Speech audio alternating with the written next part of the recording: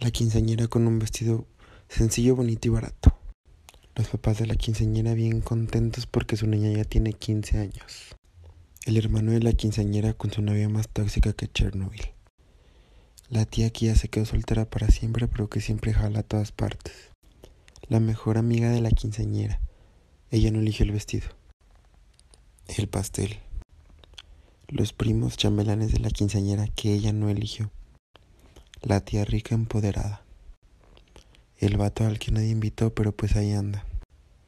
La tía mala influencia de la quinceañera. Sus primos a los que les vale.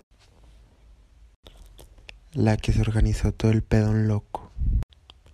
El tío divorciado pero que ya se consiguió una sugar. Todas las lámparas del salón del pedón loco.